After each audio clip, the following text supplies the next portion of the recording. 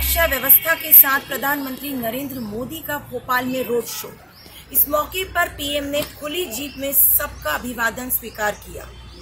PM Modi के साथ CM Mohan Yadav, प्रदेश अध्यक्ष वीडी शर्मा, भाजपा लोकसभा प्रत्याशी आलोक शर्मा भी मौजूद रहे। आपको बता दें, इस मौके पर सीएम मोहन यादव ने प्रधानमंत्री मोदी का समय निकालकर रोड शो करने पर आभार भी व्यक्त किया। बने रहिए मृदुभाषी के साथ कैमरा पर्सन सचिन के साथ मैं रश्मि जैन भोपाल।